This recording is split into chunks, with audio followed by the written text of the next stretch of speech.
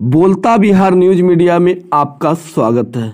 अक्षर आंचल योजना में सफल प्रतिभागियों को प्रमाण पत्र नावकोठी प्रखंड क्षेत्र अंतर्गत बिशनपुर में अक्षर आंचल योजना के तहत बुनियादी महापरीक्षा में शामिल महादलित अल्पसंख्यक अति पिछड़ा वर्ग के सफल 40 नव साक्षर महिलाओं को प्रमाण पत्र दिया गया। यह कार्यक्रम प्राथमिक विद्यालय बिशनपुर में पंचायत के मुखिया प्रभा देवी की अध्यक्षता में की गई।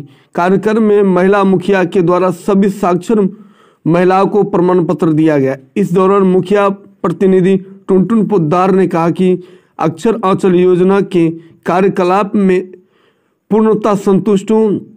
अक्षर आंचल योजना के तहत किए गए कार्य की मैं सराहना करता हूँ। सरपंच पति घूरन पासवान ने कहा कि अक्षर आंचल योजना के सभी शिक्षा सेवक प्रशंसा के पात्र हैं। इस अवसर पर उप मुखिया झुंझुन भारती सुरेंद्र पासवान, अभिषेक कुमार, स्कूल प्रधान पूनम कुमारी शिक्षा सेवक जमील अहमद, मुसर्रत खातून सहित शिक्षा प्रेमी तथा ग्रामीण उपस्थित थे।